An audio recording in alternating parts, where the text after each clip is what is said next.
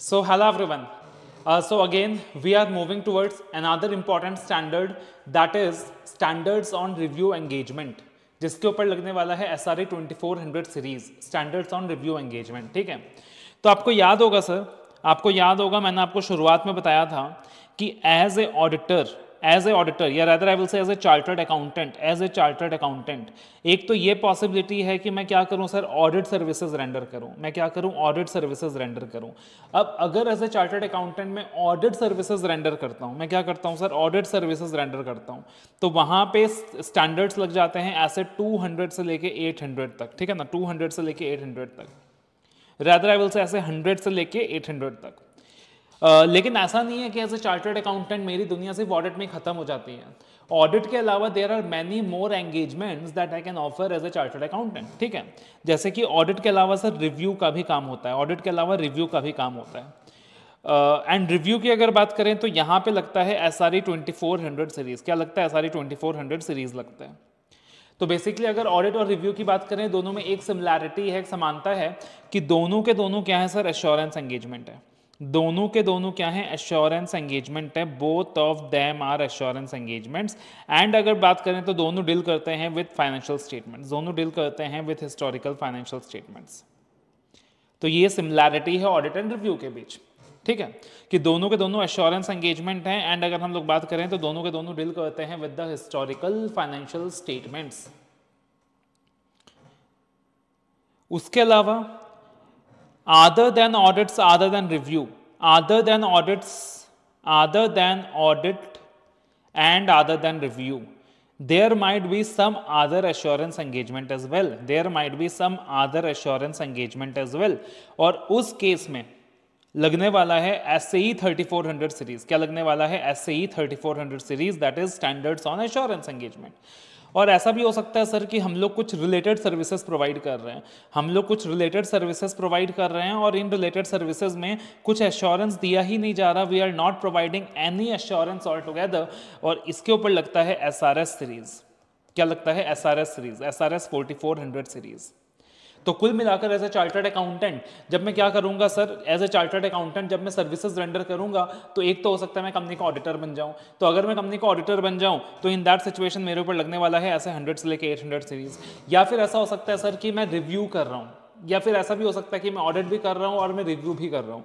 अगर मैं रिव्यू कर रहा हूँ तो in the capacity of reviewer मेरे ऊपर लगने वाला है एस आर सीरीज़ और ऑडिट एंड रिव्यू के बीच दो सिमिलैरिटीज है कि दोनों के दोनों एश्योरेंस एंगेजमेंट्स हैं एंड दोनों डील करते हैं with the historical financial information ठीक है? उसके बाद ऐसा भी हो सकता है, सर, कि other than audit and review हम लोग बाकी एश्योरेंस एंगेजमेंट्स क्या कर रहे हैं, सर परफॉर्म कर रहे हैं? जैसे कि प्रोस्पेक्टिव फाइनेंशियल इन्फॉर्मेशन के ऊपर एश्योरेंस दे रहे हैं। तो वहाँ पे लगता है ऐसे ही थर्टी सर्विसेज़ और ऐसा भी हो सकता है, सर, कि हम लोग कुछ रिलेटेड सर्विसेज़ प्रोवाइड करें। कुछ ऐसे रिलेटेड सर्विसेज़ प्रोवाइड करें जो कि ऑडिट से रिलेटेड है ऑडिट से मिलता जुलता है, मगर ऑडिट नहीं है। राइट बट रिलेटेड है। जैसे कि अकाउंटिंग की services compilation of financial statement की सर्विसेज़ तो वहाँ हम लोग कोई एश्योरेंस देंगे ही नहीं, और वहाँ लगने वाला है S R S forty four hundred. ठीक है जी? अब देखना, सबसे पहले अगर हम लोग बात करें before starting with the review standards एक चीज़ अपने माइंड में एकदम क्लियर होना चाहिए क्रिस्टल क्लियर होना चाहिए कि सर आखिरकार ऑडिट एंड रिव्यू में डिफरेंसेस क्या है? What are the differences between audit and review मैंने तुमको बताया, सर, कि ऑडिट एंड रिव्यू में ना दो सिमिलैरिटीज हैं। सिमिलैरिटी क्या है? कि ऑडिट भी और रिव्यू भी दोनों क्या है सर एश्योरेंस एंगेजमेंट है और दोनों डील करता है with the historical financial information ठीक है? अब ऑडिट एंड रिव्यू के बीच बाकी डिफरेंसेस क्या हैं और बाकी सिमिलैरिटीज क्या हैं? सबसे पहले ये वाली चीज़ क्लियर करते हैं। उसके बाद हम लोग रिव्यू स्टैंडर्ड्स में जाएँगे कि अपने कौन कौन से रिव्यू स्टैंडर्ड्स हैं और उसके बाद अपन स्पेसिफिक स्टैंडर्ड्स में जाएँगे। मैं तुमको प्रैक्टिकल रिपोर्ट दिखाऊँगा और फिर हम लोग लिटरेचर में जाएँगे टेक्स्ट में जाएँगे। तो ये कॉन्सेप्ट तुम्हारे दिमाग में बस जाएगा पूरा, ठीक है? अब रिव्यू स्टैंडर्ड्स सबसे पहले बेसिस ऑफ़ डिफरेंसेस मैंने पहले से लिख के रखा है। तो आप इन बेसिस ऑफ़ डिफरेंसेस को देखकर मेरे को ये बताने वाले हो कि ऑडिट में क्या होने वाला है। ठीक है? आप मेरे को ये बता दोगे कि ऑडिट में क्या होने वाला है। उतनी तो मदद आप कर सकते हो ना मेरी कि ऑडिट में क्या होने वाला है। बताते जाना, मैं फिल करते जाऊँगा। और उसके बाद देखेंगे सर करस्पॉन्डिंगली रिव्यू में क्या डिफ्रेंसिएशन आएगा। ठीक है जी? Are you ready okay let's set go तो सबसे पहले आप मुझे बताना, सबसे पहले आप मुझे बताना भाई, तुम्हारा क्या हो रहा है सर? मेमोरी टेस्टिंग हो रहा है। ठीक है? कि ऑडिट में हम लोग कौन से प्रकार का एश्योरेंस देते थे? बताना बताना बताना। क्या बोल रहे हो? सुनाई नहीं दिया। ऑडिट में कौन से प्रकार के एश्योरेंस देते थे? यस बिल्कुल सही बोला। ऑडिट में हम लोग रिजनेबल एश्योरेंस देते थे। ऑडिट में हम लोग रिजनेबल एश्योरेंस देते थे। ठीक है? क्या देते थे? रिजनेबल एश्योरेंस अरे, क्या बोल रहे हो भाई? कहीं से सुनाई दे रहा है कि सर एब्सलूट एश्योरेंस देते थे। अरे भाई एब्सलूट एश्योरेंस ऑडिटर कभी नहीं देता। वो इन्वेस्टिगेशन के केस में होता है। ऑडिट के केस में हम लोग रिजनेबल एश्योरेंस देते हैं। मतलब that is a substantially high degree of assurance but that is not hundred percent assurance ठीक है जी? तो एक्सटेंड ऑफ़ चेकिंग ऑडिट में क्या होता है? एक्सटेंड ऑफ़ चेकिंग ऑडिट में क्या होता है? एक्सटेंड ऑफ़ चेकिंग की बात करें सर तो ऑडिट में नॉर्मली हम लोग टेस्ट चेकिंग करते थे। है ना? ऑडिट में नॉर्मली हम लोग टेस्ट चेकिंग करते थे बट जो कवरेज होता था दैट इज़ एडिक्वेट जो कवरेज होता था अपना दैट इज़ एडिक्वेट ये अपने एडिक्वेट रहते थे। ठीक है भाई, बिल्कुल सही बात है। अब एक चीज़ बताना मुझे कि ऑडिट में अपनी वर्डिंग्स क्या होती थी? ऑडिट में अपनी वर्डिंग्स क्या होती थी? As per the information and explanation obtain by us we report that everything in the financial statement is true and fair मतलब एक पॉजिटिव वर्डिंग होती थी। है कि नहीं? एक पॉजिटिव वर्डिंग होती थी। अभी रिव्यू में क्या है मुझे नहीं पता। तुम सिर्फ़ मुझे इतना बताते जाओ कि ऑडिट में क्या क्या है। ऑडिट वाला पार्ट फिल कर लेते हैं ना, फिर रिव्यू का देखते हैं। तो ऑडिट में हमारी वर्डिंग्स क्या होती थी सर पॉजिटिव वर्डिंग्स होती थी। बिल्कुल सही बात है भाई। अगर ऑब्जेक्टिव की बात करें पार्टिकुलरली अगर ऑब्जेक्टिव की बात करें तो ऑडिट में अपना ऑब्जेक्टिव क्या था? ऑडिट में अपना ऑब्जेक्टिव क्या था? तो ऑडिट में अपना जो ऑब्जेक्टिव था basically that was to form an audit opinion to form an audit opinion है ना? ऑडिट ओपिनियन फॉर्म करना ही अपना क्या था सर ऑब्जेक्टिव था। बिल्कुल सही बात है। ओके जी। अब सर बताओ कौन कौन से ऑडिट प्रोसीजर्स हम लोग परफॉर्म करते थे या कौन कौन से ऑडिट टेक्निक्स अपन यूज़ करते थे? कौन कौन से ऑडिट प्रोसीजर्स अपन परफॉर्म करते थे? तो कौन, या कौन कौन से ऑडिट टेक्निक्स यूज़ करते थे? तो याद करना, ऐसे 500 के अंदर मैंने तुमको एक फॉर्मूला याद करवाया था आई सी ऐसे 500 के अंदर मैंने तुमको एक फॉर्मूला याद करवाया था आई सी कि इंस्पेक्शन हो गया कंप्यूटेशन हो गया कैलकुलेशन हो गया री परफॉर्मेंस हो गया इंक्वायरी हो गया ऑब्जर्वेशन हो गया. बहुत सारे प्रोसीजर्स हैं जो ऑडिटर परफॉर्म करता है फ्रॉम टाइम टू टाइम ठीक है जी। अब बताओ ऑडिट में कौन से स्टैंडर्ड्स लगते हैं सर ऑडिट की बात करें सर तो ऐसे हंड्रेड से लेकर ऐसे यू नो एट हंड्रेड तक, ऐसे हंड्रेड से लेके ऐसे एट हंड्रेड तक ये सारे के सारे स्टैंडर्ड्स लगते हैं। खाली डिफरेंस क्या था सर कि जनरल पर्पस फ्रेमवर्क के हिसाब से फाइनेंशियल स्टेटमेंट्स बनाया गया है, उसका ऑडिट हो रहा है तो 100 से 700 तक लगता था। स्पेशल पर्पस फ्रेमवर्क के हिसाब से फाइनेंशियल स्टेटमेंट्स बनाया गया है, उसका ऑडिट हो रहा है तो ऐसे 800 की सीरीज़ लगती थी। ठीक है जी। अब बताना सर लैंग्वेज ऑफ़ रिपोर्टिंग क्या है? लैंग्वेज ऑफ़ रिपोर्टिंग क्या है? तो लैंग्वेज ऑफ़ रिपोर्टिंग तो आपको याद ही होगा कि you know as per the information and explanation obtained by us we report तो इस प्रकार से हमारा लैंग्वेज ऑफ़ रिपोर्टिंग होता था। इस प्रकार से हमारा लैंग्वेज ऑफ़ रिपोर्टिंग होता था। अगर क्वालिफाइड ओपिनियन दे रहे हैं तो एक्सेप्ट फॉर शब्द यूज़ करते थे कि except for this this this ठीक है जी। अब बताना एविडेंस ऑडिटर कौन सा एविडेंस ऑप्टेन करता था? सर एविडेंस ऑडिटर ऑप्टेन करता था एज डबल एई यानी कि sufficient and appropriate audit evidence बिल्कुल सही बात है जी। अब आप मुझे अगली चीज़ बताना कि ऑडिटर अपने रिपोर्ट को किसको एड्रेस करता था? ऑडिटर अपने रिपोर्ट को सर शेयर होल्डर्स को एड्रेस करता था। किसको एड्रेस करता था? सर नॉर्मली शेयर होल्डर्स को एड्रेस करता था। अगर स्पेसिफिक असाइनमेंट है तो हो सकता है वहाँ पे बीओडी को भी यू नो एड्रेस करे बट नॉर्मली वो शेयर होल्डर्स को एड्रेस करता था। उसके बाद मुझे एक चीज़ बताना कि जब अपन फाइनेंशियल स्टेटमेंट्स को ऑडिट कर रहे हैं और हमने ये देखा कि there is a departure from the financial reporting framework क्या देखा सर हमने कि there is a departure from the financial reporting framework तो इन दैट सिचुएशन अपना ओपिनियन क्या होता था? इन दैट सिचुएशन आप अपना ओपिनियन होता था क्वालिफाइड या एडवर्स ओपिनियन क्वालिफाइड या एडवर्स ओपिनियन ठीक है जी? बिल्कुल सही बात बोल रहे हो यार, आप लोग तो बहुत इंटेलिजेंट बच्चे हो।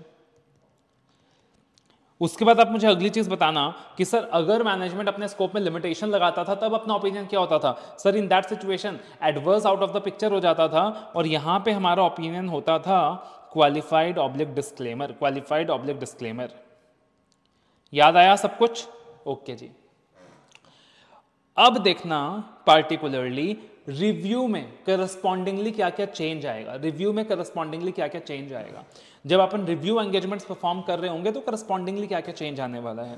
अब ऑडिट में हम लोग परफॉर्म कर रहे थे यू नो जो एश्योरेंस दे रहे थे, वो दे रहे थे reasonable assurance that is a substantially high degree of assurance अब रिव्यू में क्या होता है? रिव्यू में डिटेल्ड जो लेवल ऑफ़ चेकिंग होती है, वो थोड़ी सी कम होती है. रिव्यू में जो अपना लेवल ऑफ़ चेकिंग होता है, वो थोड़ा सा कम होता है मतलब ऑडिट से भी कम होता है. ऑडिट से भी कम होता है. मतलब ऊपर ऊपर से रिव्यू कर लेना, ठीक है ना? तो in that particular scenario in that particular scenario यहाँ पे जो एश्योरेंस दिया जाएगा, जो पार्टिकुलर एश्योरेंस दिया जाएगा that is not going to be reasonable assurance that is going to be a limited assurance कौन सा एश्योरेंस दिया जाएगा सर लिमिटेड एश्योरेंस दिया जाएगा। लिमिटेड एश्योरेंस दिया जाएगा। लिमिटेड एश्योरेंस मतलब यहाँ एश्योरेंस लेवल ऑडिट से कम रहेगा। तुम समझ लो कि अगर मैं ऑडिट में रिजनेबल एश्योरेंस दे रहा हूँ मतलब 90 टू 95 परसेंट एश्योरेंस दे रहा हूँ तो रिव्यू में लिमिटेड एश्योरेंस दे रहा हूँ मतलब 60 परसेंट तक का ही एश्योरेंस दे रहा हूँ तो लिमिटेड एश्योरेंस दे रहा हूँ। तो यहाँ मेरा एश्योरेंस का लेवल ऑडिट से थोड़ा सा कम होगा। ठीक है जी।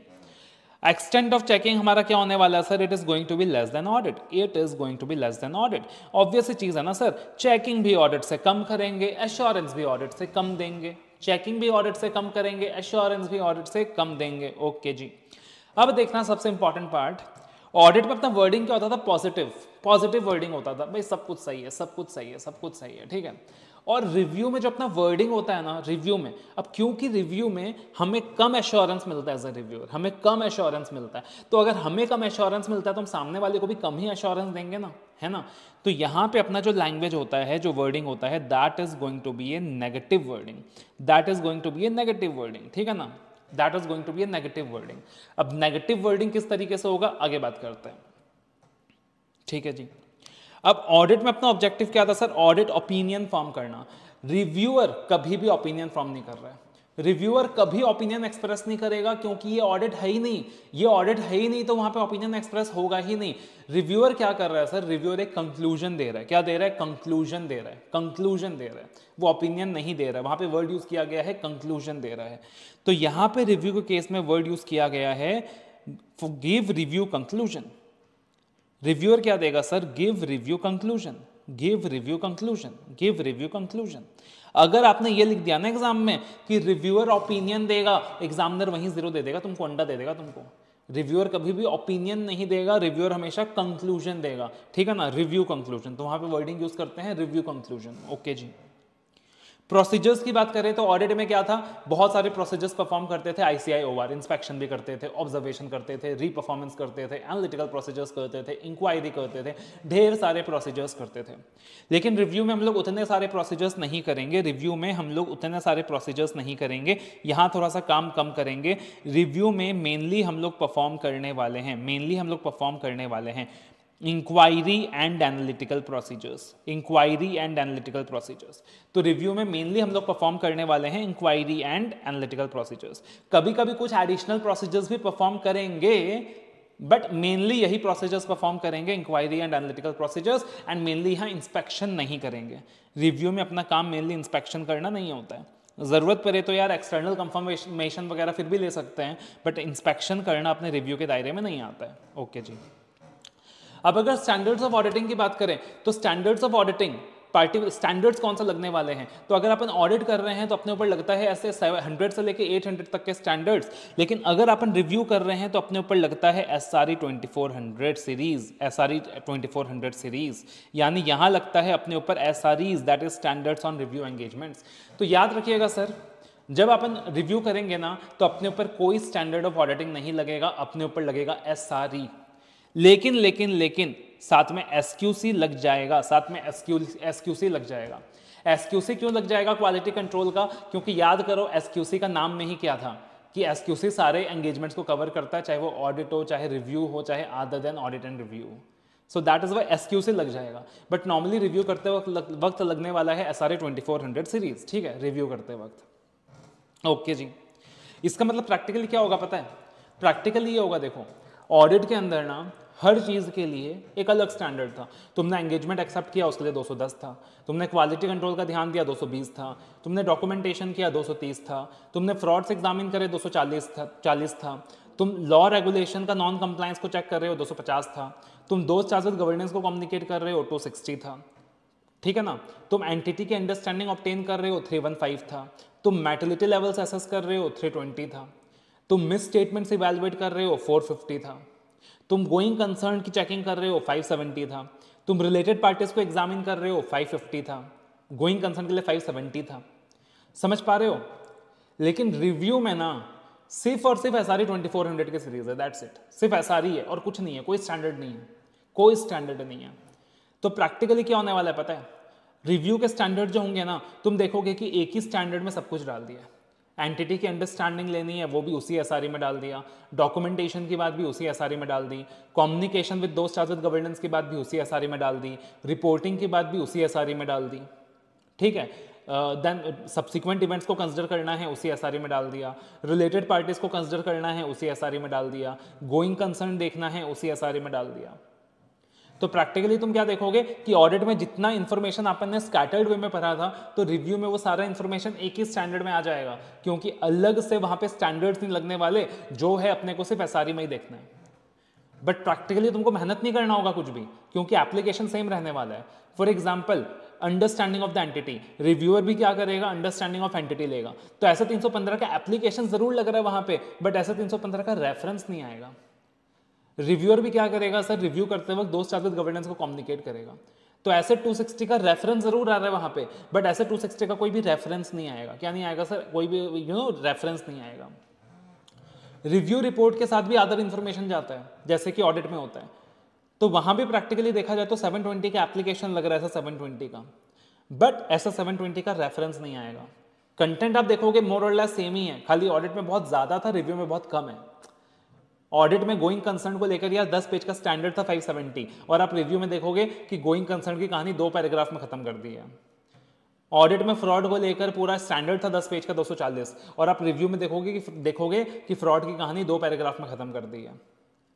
ठीक है ना? तो लगभग क्या करा इन्होंने कि रिव्यू करते वक्त जितना फ्रॉड के स्टैंडर्ड का एप्लीकेशन चाहिए, जितना गोइंग कंसर्न के स्टैंडर्ड का एप्लीकेशन चाहिए, जितना 315 का एप्लीकेशन चाहिए, वो थोड़ा थोड़ा ले, लेकर ले, लेकर उसी स्टैंडर्ड में डाल दिया कि आपको अलग से किसी और स्टैंडर्ड में जाने की ज़रूरत नहीं है, जो है यही है। ठीक है जी। अब सबसे important part language of reporting क्या रहने वाला है? तो ऑडिट में अपना जो लैंग्वेज ऑफ़ रिपोर्टिंग रहने वाला है it is going to be as per the information and explanation obtained by us we report that ठीक है पॉजिटिव वर्डिंग्स रहने वाला है। अब रिव्यू में अपना लैंग्वेज ऑफ़ रिपोर्टिंग क्या रहने वाला है? What is going to be the language of reporting तो देखो, मैंने तुमको क्या बताया कि ऑडिट में हम लोग यूज़ करते हैं पॉजिटिव वर्डिंग्स और रिव्यू में हम लोग यूज़ करते हैं नेगेटिव वर्डिंग्स क्या करते हैं सर रिव्यू में यूज़ करते हैं नेगेटिव वर्डिंग्स एग्ज़ाम्पल लेते हैं। मान लो लेटस से, मान लो लेटस से, तुम्हारा दोस्त है राहुल, तुम्हारा दोस्त है राहुल, तुमसे किसी ने पूछा कि राहुल कैसा लड़का है? तुमसे किसी ने पूछा कि राहुल कैसा लड़का है? एक तो तुम बोल रहे हो कि जितना मुझे राहुल के बारे में पता है, राहुल अच्छा लड़का है। जितना मुझे राहुल के बारे में पता है, राहुल अच्छा लड़का है। तो तुम सामने वाले को एक पॉजिटिव एश्योरेंस दे रहे हो। अगर तुमने इस तरीके से बोला कि ऐसा तो नहीं है कि राहुल खराब है, ऐसा तो नहीं है कि राहुल खराब है, मुझे ऐसा तो नहीं पता कि राहुल खराब है, मुझे ऐसी कोई इंफॉर्मेशन तो नहीं मिली कि राहुल खराब है। तो एक चीज़ बताना प्रैक्टिकली तुम सामने वाले को एश्योरेंस तो दे रहे हो। तुम बोल रहे हो कि यार ऐसा तो कुछ नहीं पता कि राहुल खराब है बट तुम एक नेगेटिव टोन यूज़ कर रहे हो। और नेगेटिव टोन यूज़ करते ही सामने वाले को लोअर एश्योरेंस मिल रहा है, कम एश्योरेंस मिल रहा है, ठीक है ना? तो लैंग्वेज ऑफ़ रिपोर्टिंग यहाँ पे क्या होने वाला है? लैंग्वेज ऑफ़ रिपोर्टिंग कुछ इस प्रकार से होने वाला है। That is nothing has come nothing has come to the practitioner mind, nothing has come to the practitioner mind.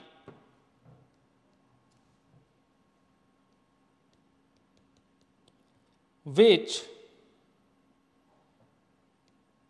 nothing has come to the practitioner's knowledge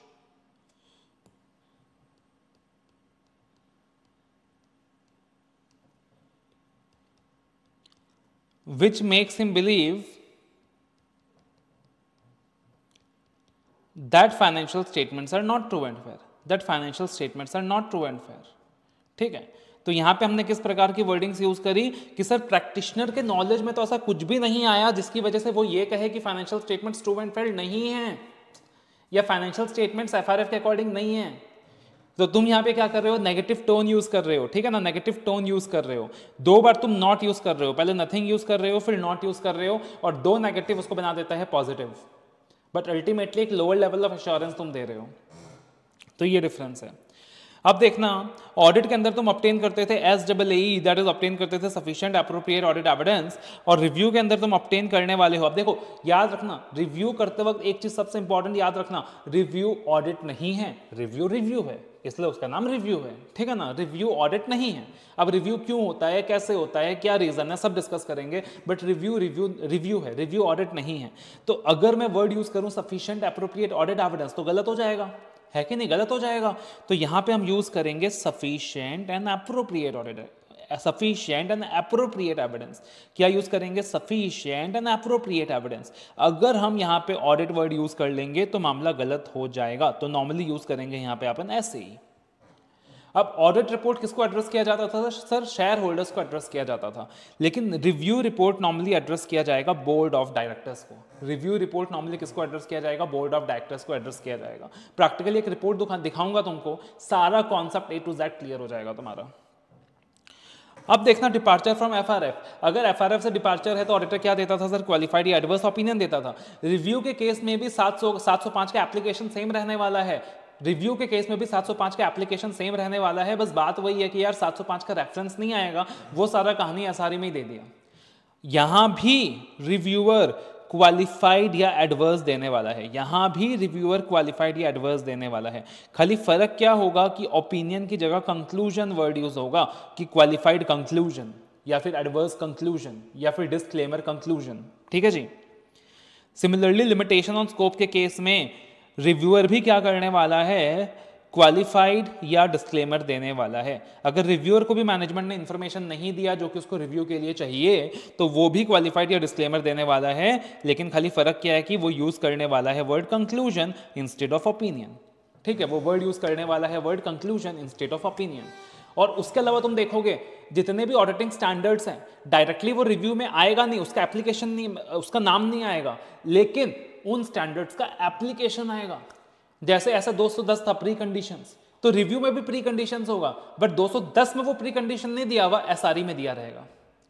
review में रिक्वायरमेंट थी audit में रिक्वायरमेंट थी फ्रॉड रिस्क को assess करने का। तो reviewer को भी फ्रॉड रिस्क को एसेस करना रहेगा, लेकिन ऐसे 240 का रेफरेंस नहीं आएगा यू नो एस के अंदर ही उस चीज़ को कवर कर दिया जाएगा। वहाँ पे फ्रॉड का स्टैंडर्ड 10 पेज का था, यहाँ दो पैराग्राफ में बोल के खत्म कर दिया जाएगा। रिलेटेड पार्टीज़ का स्टैंडर्ड है 550 तो रिलेटेड पार्टी ट्रांजैक्शन में रिस्क को एग्जामिन करना. ऑडिट में उसके लिए स्टैंडर्ड था 550 रिव्यू के केस में भी तुमको रिलेटेड पार्टी का पॉइंट मिलेगा बट एस के अंदर ही मिलेगा और 10 पेज की जगह हो सकता है दो पैराग्राफ में खत्म कर दे. आदर इंफॉर्मेशन को एग्जामिन करने के लिए स्टैंडर्ड था ऑडिट में 720 उसका भी रेफरेंस रिव्यू में मिलेगा बट अगेन विद एस के अंदर ही मिलेगा. रिटर्न रिप्रेजेंटेशन ऑडिट में भी सेम कॉन्सेप्ट था रिव्यू में भी सेम कॉन्सेप्ट होगा, बस बट 580 नहीं लगेगा। वो ऐसे यू नो एस के अंदर ये डब्ल्यूआर का बात किया रहेगा। आई बिलीव समझ पा रहे हो। तो लगभग तुमको सारे स्टैंडर्ड्स रिव्यू में देखने को मिलेंगे बट सिर्फ़ स्टैंडर्ड्स का कंटेंट सिर्फ़ स्टैंडर्ड्स का कॉन्सेप्ट स्टैंडर्ड का नंबर नहीं। ठीक है? अब देखना I believe this is clear अभी तक आपने जितनी भी बातें डिस्कस करी हैं दैट इज़ क्लियर अब देखना सर रिव्यू के दो स्टैंडर्ड्स होते हैं। एस आर सीरीज़ और इस पर्टिकुलर सीरीज़ में दो स्टैंडर्ड्स है रिव्यू के। एक है एस आर हंड्रेड एक है एस आर टेन एक है एस आर हंड्रेड एक है एस आर ठीक है जी? तो अब ट्वेंटी फोर हंड्रेड और ट्वेंटी फोर हंड्रेड टेन में क्या क्या डिफरेंसेस है? दोनों में क्या क्या डिफरेंसेस है? दोनों में क्या क्या सिमिलैरिटीज है? इन डिफरेंसेस को समझने से पहले ये समझो कि रिव्यू होता क्यों है। और रिव्यू होता किस चीज़ का है? हम लोग बोलते हैं लिमिटेड रिव्यू क्या बोलते हैं लिमिटेड रिव्यू ठीक है जी। तो अब अगर हम लोग बात करें लिस्टेड कंपनीज़ के केस में लिस्टेड कंपनीज़ के केस में कुछ रिक्वायरमेंट्स होता है कि उनको क्वार्टरली फाइनेंशियल रिजल्ट्स बनाने होते हैं। क्या करना होता है? हर क्वार्टर में फाइनेंशियल स्टेटमेंट्स बनाना होता है इंटरिम बेसिस में। तो उनको क्वार्टरली फाइनेंशियल रिजल्ट्स बनाते हैं, बनाने होते हैं। क्वार्टरली फाइनेंशियल रिजल्ट्स को बीओडी से अप्रूव कराना होता है और उन क्वार्टरली फाइनेंशियल रिजल्ट्स की कॉपी को स्टॉक एक्सचेंजेस को सबमिट करनी होती है। तो लिस्टेड कंपनीज़ के ऊपर SEBI LODR regulation regulation 33 listed companies के ऊपर सेबी लोडर रेगुलेशन रेगुलेशन 33 एक ऑब्लिगेशन इंपोज करता है कि आपको हर क्वार्टर में क्या करना है? हर क्वार्टर में इंटरिम फाइनेंशियल स्टेटमेंट्स की कॉपी हर क्वार्टर में इंटरिम फाइनेंशियल स्टेटमेंट्स की कॉपी आपको स्टॉक एक्सचेंजेस को सबमिट करनी है after getting it approved by the BOD ठीक है जी? अब वो जो इंटरिम फाइनेंशियल स्टेटमेंट्स की कॉपी स्टॉक एक्सचेंजेस को सबमिट हो रही है, हर क्वार्टर में हो रही है, वो ऑडिटेड नहीं है, वो ऑडिटेड नहीं है। ऑडिट तो पूरे एनुअल फाइनेंशियल स्टेटमेंट्स का होने वाला है, ठीक है ना? वो ऑडिटेड नहीं है। तो कहीं ना कहीं ये भी तो ज़रूरत है ना यार, कि जो स्टॉक एक्सचेंजेस को जो क्वार्टरली फाइनेंशियल इन्फॉर्मेशन मिल रहा है, वो रिलायबल मिल रहा है। है कि नहीं? सो so, अब लॉ क्या कहता है? अब लॉ ये कहता है कि सर वो जो क्वार्टरली फाइनेंशियल स्टेटमेंट्स है ना जो लिस्टेड कंपनी स्टॉक एक्सचेंजेस को सबमिट करती है उसका ऑडिट तो नहीं हो सकता मगर उसका रिव्यू होगा। उसका ऑडिट तो नहीं हो सकता सर मगर उसका रिव्यू होगा। कंपनीज़ को क्या करना होगा? एक चार्टर्ड अकाउंटेंट को एंगेज करना होगा। एक इंडिपेंडेंट प्रैक्टिशनर को एंगेज करना होगा। और वो इंडिपेंडेंट प्रैक्टिशनर क्या करने वाला है सर क्वार्टरली फाइनेंशियल स्टेटमेंट्स का रिव्यू करने वाला है। मतलब ऑडिट में ज़्यादा डिटेल्ड में चेकिंग करता, ज़्यादा प्रोसीजर्स लगाता, अभी रिव्यू में उतने डिटेल्ड में काम नहीं करेगा, कम प्रोसीजर्स लगाएगा, मगर यहाँ भी सारी चेकिंग करेगा। कम प्रोसीजर्स लगाएगा, यहाँ भी सारी चेकिंग करेगा, और हर क्वार्टर का एक लिमिटेड रिव्यू रिपोर्ट इशू करेगा। हर क्वार्टर का एक लिमिटेड रिव्यू रिपोर्ट इशू करेगा। ठीक है ना? हर क्वार्टर का। तो साल में चार क्वार्टर है। चार क्वार्टर के interim financial statement stock exchange को सबमिट हुआ तो चार क्वार्टर्स के क्या होने वाला है सर रिव्यू रिपोर्ट भी इशू होने वाला है। एक चार्टर्ड अकाउंटेंट क्या करेगा सर हर क्वार्टर का लिमिटेड रिव्यू रिपोर्ट इश्यू करेगा। ठीक है जी? इतनी बात समझ में आई? हाँ। अब देखना, एक चीज़ मेरे को बताना। क्या बताना? कि सर अब ये जो पार्टिकुलरली रिव्यू करने वाला है, ये आपने बताया कि चार्टर्ड अकाउंटेंट करने वाला है। लेकिन कौन सा चार्टर्ड अकाउंटेंट वो बंदा जो कंपनी का स्टैट ऑडिट भी कर रहा है या कोई दूसरा प्रैक्टिशनर वो बंदा जो कंपनी का स्टैट ऑडिट भी कर रहा है या कोई दूसरा प्रैक्टिशनर अब लॉजिकल सी चीज़ सोचो। अगर तुम किसी और प्रैक्टिशनर को ऑडिट करने के लिए रिव्यू करने के लिए अपॉइंट करते हो, जो कि यू नो स्टैचुरी ऑडिटर नहीं है तो उसको नए तरीके से काम करना होगा।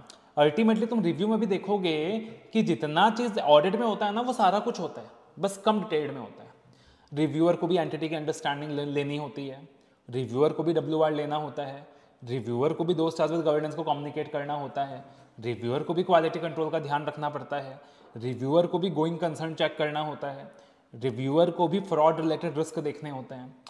तो रिव्यूअर को भी बहुत सारा काम करना होता है बट कम डिटेल्ड में होता है। तो अगर आप एक नए बंदे को अपॉइंट करोगे तो प्रैक्टिकली क्या होगा? उसके लिए काम ज़्यादा होगा। लेकिन अगर जो कंपनी का स्टैट ऑडिटर है, वो तो ऑलरेडी ये सारा कुछ करने वाला है डिटेल्ड मैनर में। अगर आप उसी को अपॉइंट कर देते हो रिव्यू कंडक्ट करने के लिए तो उसके लिए तो रिव्यू केक वाक होगा। It is going to be very very easy for him क्योंकि एनी वो ऑडिट करने के लिए ये सारे काम करने वाला है। ऑडिट करने के लिए एनी वेज वो अंडरस्टैंडिंग ऑफ़ एंटिटी लेने वाला है डब्ल्यू आर लेने वाला है, चीज़ें अच्छे से इंस्पेक्ट करने वाला है एग्जामिन करने वाला है यू नो ऑलरेडी ऑडिट करने के लिए वो सारी चीज़ें करने वाला है। तो आप ऑडिटर को ही अगर रिव्यूअर बना देते हो तो चीज़ें बहुत आसान हो जाएँगी। है कि नहीं? तो नॉर्मल सिनारियो क्या होता है सर कि आप ऑडिटर को ही रिव्यूअर अपॉइंट करते हो। जो ऑडिटर होता है स्टेट ऑडिटर उसको ही रिव्यूअर अपॉइंट करते हो। अब अगर आप उस ऑडिटर को ही रिव्यूअर अपॉइंट करते हो ना सो इन दैट सिचुएशन लगता है एस आर ई चौबीस सौ दस ट्वेंटी फोर हंड्रेड टेन क्या लगता है S R twenty four hundred ten लगता है?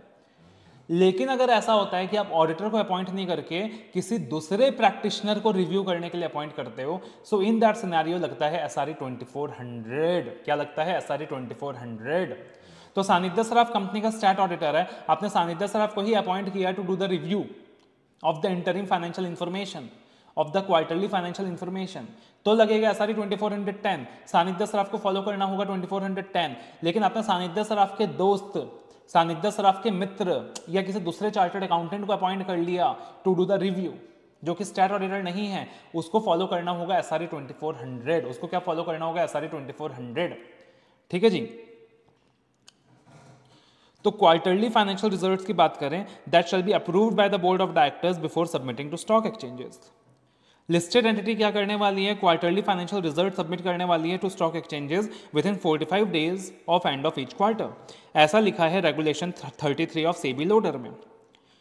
तो प्रैक्टिकली अगर बात करें तो for listed entities review of such quarterly financial statement is mandatory and it is preferred to be done by the same statutory auditor और अगर सेम स्टैट्यूटरी ऑडिटर वो रिव्यू करता है तो वहाँ पे लगने वाला है S R E twenty four hundred ten and if done by another independent practitioner तो वहाँ पे लगने वाला है एस आर हंड्रेड क्या लगने वाला है, सर? एस आर हंड्रेड तो प्रैक्टिकली एक मान लो, एक कंपनी के बहुत सारे ब्रांचेस हैं. एक कंपनी के क्या हैं? बहुत सारे ब्रांचेस हैं, बहुत सारे कॉम्पोनेंट्स हैं.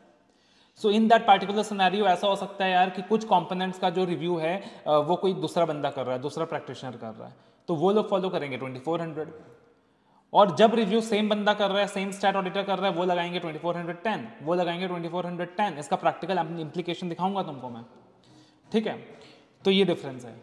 अब सर इसका मतलब ये भी नहीं है कि सिर्फ़ लिस्टेड एंटिटीज का ही रिव्यू होगा लिस्टेड एंटिटीज के फाइनेंशियल स्टेटमेंट्स का ही रिव्यू होगा। अनलिस्टेड फाइनेंशियल स्टेटमेंट्स का भी हो सकता अनलिस्टेड कंपनीज़ भी अपने फाइनेंशियल स्टेटमेंट्स का रिव्यू करा सकती है, बस उनके लिए उतना मैंडेटरी नहीं होगा। अगर शेयर होल्डर्स कहते हैं तो शेयर होल्डर्स को सेटिस्फाई करने के लिए वो लोग भी रिव्यू करा सकते हैं। ठीक है? एक चीज़ और आपके साथ शेयर कर रहा हूँ फॉर द नॉलेज पर्पज कि सर कंपनीज़ जब इंटरिम फाइनेंशियल स्टेटमेंट्स बनाएगा, जब क्वार्टरली बेसिस में फाइनेंशियल स्टेटमेंट बनाएगा तो उसके लिए भी एप्लीकेबल एफआरएफ होता है। उसके लिए भी क्या होता है एप्लीकेबल एफआरएफ होता है। अब उसके लिए एप्लीकेबल एफ़ क्या है?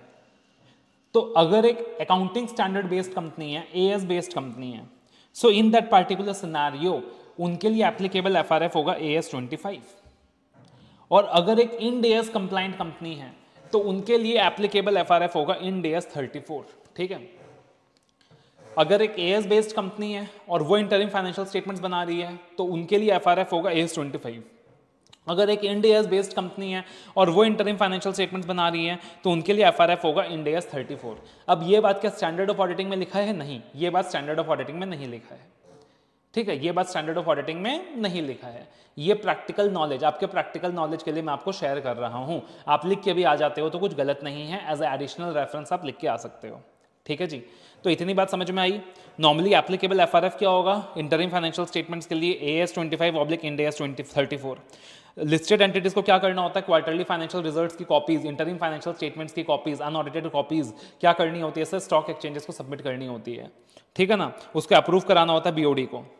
बीओडी के द्वारा। लिस्टेड एंटिटीज को सबमिट करना होता है quarterly financial results to stock exchanges within 45 days from the end of each quarter that is regulation 33 of SEBI LODR and for listed entities review of such quarterly financial information is mandatory preferred to be done by the same statutory auditor and if the same statutory auditor does the limited review and issues the limited review report SRE 2410 is applicable तो जिस भी quarter का मान लो quarter one का particularly you know जो audit है quarter one का जो रिव्यू है वो स्टेट ऑडिटर कर रहा है तो क्वार्टर वन का अलग लिमिटेड रिव्यू रिपोर्ट इशू होगा फिर क्वार्टर टू का अलग लिमिटेड रिव्यू रिपोर्ट इशू होगा फिर क्वार्टर थ्री का अलग लिमिटेड रिव्यू रिपोर्ट इशू होगा तो हर क्वार्टर का अलग अलग लिमिटेड रिव्यू रिपोर्ट इशू होगा अगर सेम इंडिपेंडेंट ऑडिटर कर रहा है तो S R twenty four hundred ten लगेगा। तो अब जाकर हम लोग डिफरेंसेस डिस्कस कर सकते हैं S R twenty four hundred में ट्वेंटी फोर हंड्रेड टेन में। ठीक है जी? एप्लीकेबिलिटी या फिर हु डज द रिव्यू तो S R twenty four hundred का नाम दिया गया है। Review of historical financial information review of historical financial statement ठीक है? तो जब भी हिस्टोरिकल फाइनेंशियल स्टेटमेंट का रिव्यू होता है, जब भी हिस्टोरिकल फाइनेंशियल स्टेटमेंट का रिव्यू होता है S R twenty four hundred लग जाता है, जब भी हिस्टोरिकल फाइनेंशियल स्टेटमेंट का रिव्यू होता है। अगर मान लो क्वार्टर मान लो लेटर से क्वार्टरली फाइनेंशियल स्टेटमेंट का रिव्यू नहीं हो रहा है एनुअल फाइनेंशियल स्टेटमेंट का रिव्यू हो रहा है तो वो भी पॉसिबल है। अगर वैसा भी होता है तो S R twenty four hundred लग जाएगा। लेकिन S R twenty four hundred ten कब लगेगा? सिर्फ़ और सिर्फ़ review of interim financial statement के केस में लगेगा। सिर्फ़ और सिर्फ़ review of interim financial statement के केस में लगेगा। एस आर हंड्रेड की बात करें तो यहाँ रिव्यू कौन करता है? यहाँ रिव्यू करता है एक इंडिपेंडेंट प्रैक्टिशनर यहाँ रिव्यू कर रहा है एक independent practitioner who is not the state auditor who is not the state auditor लेकिन अगर 2410 की बात करें तो यहाँ रिव्यू कौन कर रहा है? सर 2410 में रिव्यू कौन कर रहा है? स्टेटविटरी ऑडिटर ही रिव्यू कर रहा है। एश्योरेंस की बात करें सर? दोनों में लिमिटेड एश्योरेंस होगा, दोनों में लिमिटेड एश्योरेंस होगा। वर्डिंग्स की बात करें सर? दोनों में नेगेटिव वर्डिंग्स यूज़ होंगे। प्रोसीजर्स की बात करें सर? लगभग लगभग लगभग सिमिलर प्रोसीजर्स यूज़ होंगे। दैट इज़ दोनों ही केसेस में mainly inquiry and ARP perform किया जाएगा। दोनों ही केसेस में मेनली इंक्वायरी और एआरपी परफॉर्म किया जाएगा। रिव्यू है ना तो मेनली मैनेजमेंट से इंक्वायरी करना और कंपैरिजंस करना। ये रिव्यूअर का मेन काम है। मैनेजमेंट से इंक्वायरी करो एंड यू नो कंपेरिजन करो. This is the main work of the reviewer ठीक है? आई बिलीव इतनी बातें समझ में आ गई हैं पूरी अच्छे से.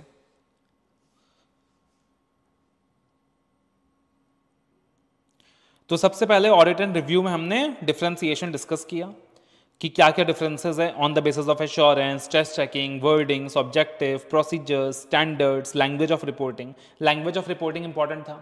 कि रिव्यू के केस में क्या रिपोर्टिंग लैंग्वेज होता है? Nothing has come to the practitioner's mind which causes him to believe that financial statements are not as per F ठीक है? एविडेंस का पॉइंट था एडवेसी का पॉइंट था departure from F limitation on scope 2400 2410 के बीच क्या क्या सिमिलैरिटीज डिफरेंसेज है अभी अभी आपने देखा। एंड अगेन अगर बात करें तो सेबिल ऑर्डर की क्या रिक्वायरमेंट है? एप्लीकेबल एफआरएफ क्या है? ये पोर्शन मैंने तुमको तुम्हारी प्रैक्टिकल नॉलेज के लिए शेयर किया है। Not a part of the standard but ये वाला जो पार्ट है, ये मैंने तुमको तुम्हारा प्रैक्टिकल नॉलेज के लिए शेयर किया है। तो एक बार नोट डाउन कर लीजिए सर जो भी अभी तक हमने डिस्कस किया है, फिर आगे भरते हैं। एक ऑडिट रिपोर्ट दिखा रिव्यू रिपोर्ट दिखाता हूँ सॉरी तुमको। कभी कभी देखो हमसे भी गलती हो जाती है। रिव्यू की जगह ऑडिट शब्द यूज़ कर लेते हैं। तो आप लोग तो स्टूडेंट्स हो। और एग्ज़ाम में आपने भी अगर गलती से रिव्यू की जगह ऑडिट रिपोर्ट वर्ड यूज़ कर लिया तो ऐसे ज़ीरो दे देगा। You have to be careful ठीक है? तो एक बार नोट uh, डाउन कर लीजिए फिर रिव्यू रिपोर्ट दिखाता हूँ आपको और फिर हम लोग जब रिव्यू रिपोर्ट भी देख लेंगे एक प्रॉपर अंडरस्टैंडिंग आ जाएगा फिर जाकर आप क्या करने वाले हैं? टेक्स्ट में जाने वाले हैं इन सारी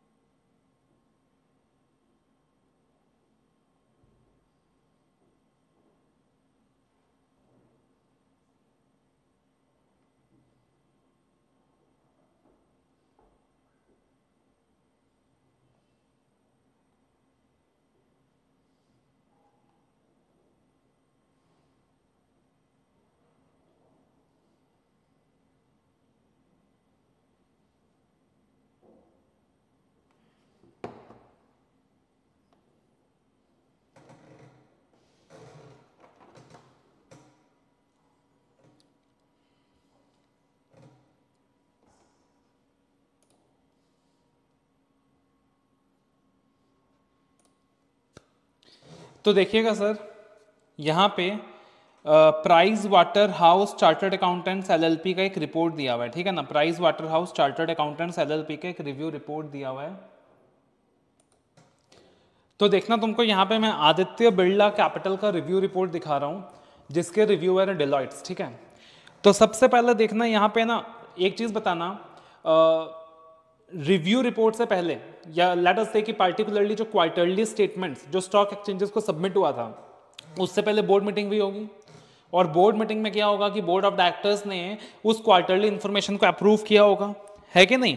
तो सबसे पहले उसी चीज़ का ज़िक्र आप देखना। सबसे पहले उसी चीज़ का ज़िक्र है। तो प्रैक्टिकली जो कंपनी सबमिट करती हैं तो सबसे पहले वो जो बोर्ड रिपोर्ट का अप्रूवल कॉपी होता है, वो होता है, फिर रिव्यू रिपोर्ट होता है। तो देखना यहाँ पे।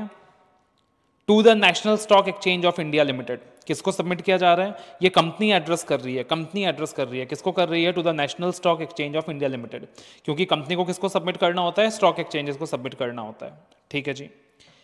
Outcome of board meeting under regulation 30 and 33 of SEBI LODR regulations तो रेगुलेशन 30 एंड 33 क्या बोलता है? लिस्टेड कंपनीज़ को कि आपको बोर्ड मीटिंग बैठानी होगी। बोर्ड मीटिंग बैठाकर क्वार्टरली फाइनेंशियल स्टेटमेंट्स को अप्रूव करना होगा। ठीक है जी।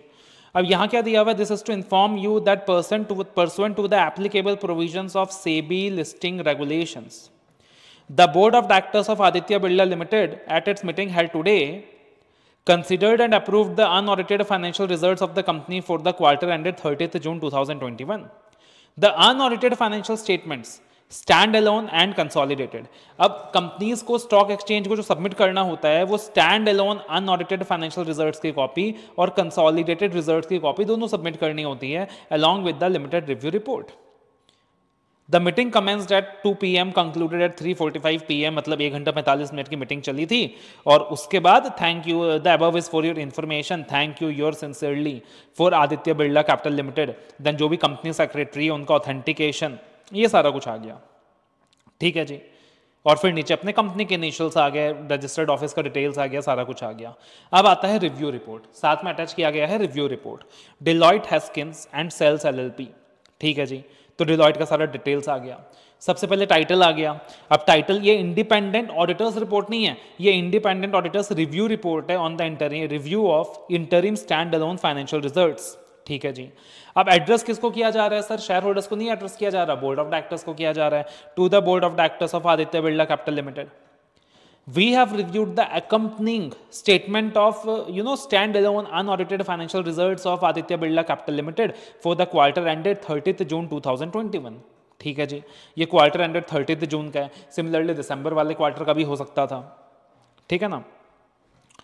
The company which is responsibility the statement which is responsibility of the company's management and approved by the company BOD has been prepared in accordance with Ind AS 34 मतलब AS Ind AS based company है तो accordingly इनके लिए Ind AS 34 लग रहा है prescribed under section 133 of Companies Act read with relevant rules ठीक है जी आर रिस्पॉन्सिबिलिटी अब देखना ओपिनियन वर्ड यूज़ नहीं करेंगे our responsibility to express a conclusion based on review we conducted our review अब नॉर्मली हम लोग क्या बोलते हैं? We conducted our audit based on the standards of auditing यहाँ क्या बोलेंगे?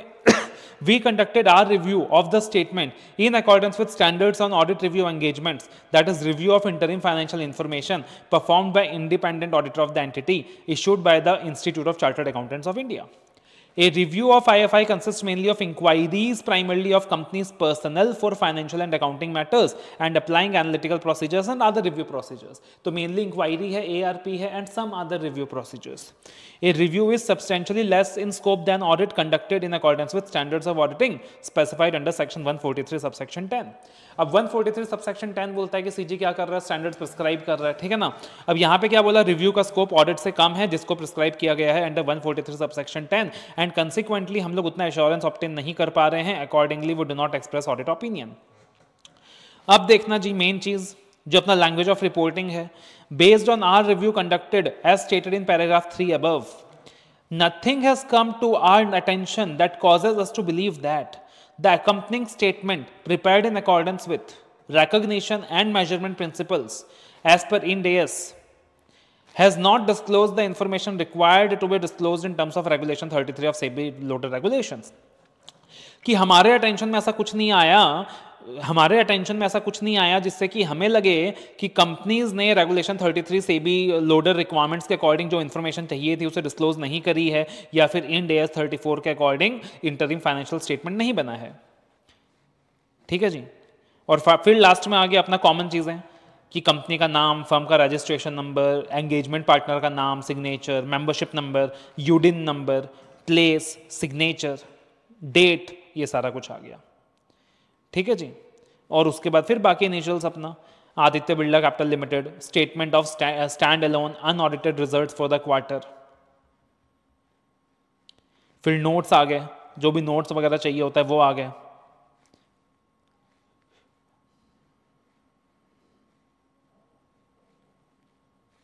ठीक है जी? तो इस तरीके से यहाँ पे पार्टिकुलरली जो अपना रिव्यू रिपोर्ट है, वो बना है। इस तरीके से अपना रिव्यू रिपोर्ट बना है। अब देखना, एक रिव्यू रिपोर्ट तुमको और दिखा रहा हूँ, उसमें मेनली एक पैराग्राफ दिखा रहा हूँ तुमको देखना, एक पैराग्राफ दिखा रहा हूँ। रिव्यू रिपोर्ट तो लगभग ऐसा ही होगा, थोड़ा बहुत लैंग्वेज में मॉडिफिकेशन होगा, तुमको एक पैराग्राफ दिखा रहा हूँ। ये रिव्यू रिपोर्ट भी 2410 के हिसाब से ही है, ठीक है? बट इसमें एक पैराग्राफ देखना। we did not review the interim financial information oblique financial results of six subsidiaries included in the consolidated unaudited financial results whose interim financial information oblique financial results reflect total revenues of 2816.20 lakhs total net loss after tax itna total comprehensive loss itna jo bhi hai for the quarter ended ठीक है this interim financial information oblique financial results have been reviewed by other auditors in accordance with SRE 2400 ठीक है ना? Engagements to review historical financial statements. And S R E twenty four hundred ten जो कि review of interim financial information के ऊपर लगता है that has been perform by the independent auditors of the entity तब यहाँ से तुमको सेग्रीगेशन क्लियर कट समझ आ रहा है ना 2400 एंड 2410 के बीच भी, कि एग्जैक्टली जो सैग्रीगेशन है वो क्या है? ठीक है एग्जैक्टली जो सैग्रीगेशन है क्या है? सो आई बिलीव कि अब जो रिव्यू का कॉन्सेप्ट है, वो तुम्हारे दिमाग में बैठ गया होगा। अब हम लोग जाएँगे और individually S R twenty four hundred और ट्वेंटी फोर हंड्रेड टेन को देखेंगे। अब मेनली अपना रीडिंग वर्क रहेगा। अब तुम देखोगे कि यार तुम खुद भी सेल्फ स्टडी भी करोगे ना, कि S R twenty four hundred twenty four hundred ten पढ़ लेता हूँ। अब तुम्हारे लिए बहुत ईजी होगा, बहुत ईजी होगा। मेन एप्लीकेशन यही है। बाकी तुम देखोगे ऑडिट में अंडरस्टैंडिंग ऑफ़ एंटिटी लेते थे रिव्यूअर भी लेगा। ऑडिटर कुछ प्रोसीजर्स परफॉर्म कर रहा था रिव्यूअर भी करेगा, खाली इंक्वायरी और एआरपी तक वो सीमित रहेगा। कुछ लिमिटेड रिव्यू प्रोसीजर्स होगा। ऑडिटर डब्ल्यूआर ले रहा था रिव्यूअर भी लेगा। ऑडिटर एथिकल प्रिंसिपल्स फॉलो कर रहा था रिव्यूअर भी करेगा। ऑडिटर रिपोर्टिंग कर रहा था रिव्यूअर भी करेगा। तो वो सारी चीज़ें लगभग सेम होने वाली हैं। खाली उन स्टैंडर्ड्स का रेफरेंसेज नहीं आएगा। उसके बारे में जितना नॉलेज चाहिए तुमको एस में ही दिया रहेगा। जितना नॉलेज चाहिए उसके बारे में तुमको एस में ही दिया रहेगा। ठीक है ना? So I believe it is very very clear तो जितना अभी तक किया है, उतना एक बार अच्छे से कर लीजिए, बढ़िया से कर लीजिए। मेन डिस्कशन यही है। ये सार है। कि इतना तुमको समझ आ गया मतलब तुम एग्ज़ाम में कभी गलती नहीं करोगे। और तुम, अगर तुमको ये पूरा डिफ्रेंसिएशन समझ में आ गया कि रिव्यू ऑडिट के बीच क्या डिफरेंस है S R twenty four hundred twenty four hundred ten के बीच क्या डिफरेंस है, मैंने तुमको प्रैक्टिकल रिव्यू रिपोर्ट्स भी दिखा दिए एप्लीकेशन भी दिखा दिया तो आई बिलीव कि अभी ये चीज़ तुम्हारे दिमाग में एकदम फ्रीज हो गई है। तो एक बार इसको अच्छे से गो थ्रू कर लीजिए, फिर आगे अपन इंडिविजुअल स्टैंडर्ड्स गो थ्रू करेंगे।